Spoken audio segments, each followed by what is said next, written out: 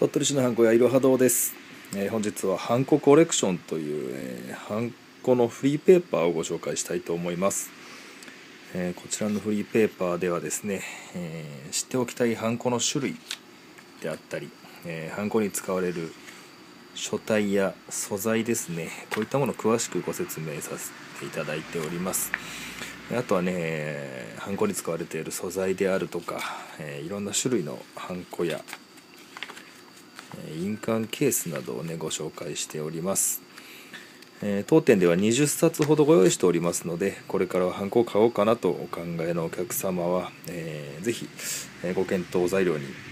していただきたいと思います。こちら無料で配布しておりますのでぜひ当店の方に、えーご来店いただくかお問い合わせください。よろしくお願いします。